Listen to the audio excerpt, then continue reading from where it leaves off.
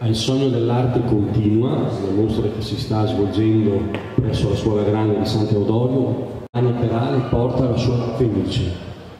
un quadro potente costituito da tocchi dorati e rossi che danno vita a questo mitico e simbolico uccello, che appunto ricorda la rinascita. È dunque un messaggio recondito quello che l'artista ha voluto inserire all'interno del dipinto. L'essere umano